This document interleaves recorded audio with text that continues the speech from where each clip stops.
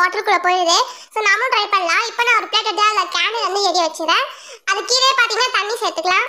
தண்ணி எல்லாத்தையும் ஆட் பண்ணதுக்கு அப்புறமா அது கலருக்காக நான் வந்து கொஞ்சமாக ரெட் ஆட் பண்ணுறேன் ஸோ ரெட்டிங் ஆட் பண்ணி நல்லா அந்த வாட்டர் கூட மிக்ஸ் பண்ணி விட்டுக்கோங்க. இப்போ ஒரே பாட்டில் எடுத்துக்கலாம். அவங்க சொன்ன மாதிரி அந்த கேண்டிலுக்குள்ளே அப்படியே அந்த பாட்டில உள்ளே இன்சர்ட் பண்ணலாம்.